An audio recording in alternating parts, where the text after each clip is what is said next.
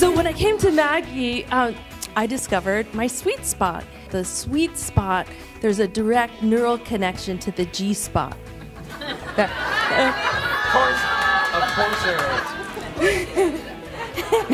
And so let me just tell you this quickly. Your sweet spot, so it's that marriage between your soul signature, your tribe, what they are uh, challenged with, and they are actively looking for a solution for, that so much so they were willing to financially invest in themselves to get the result.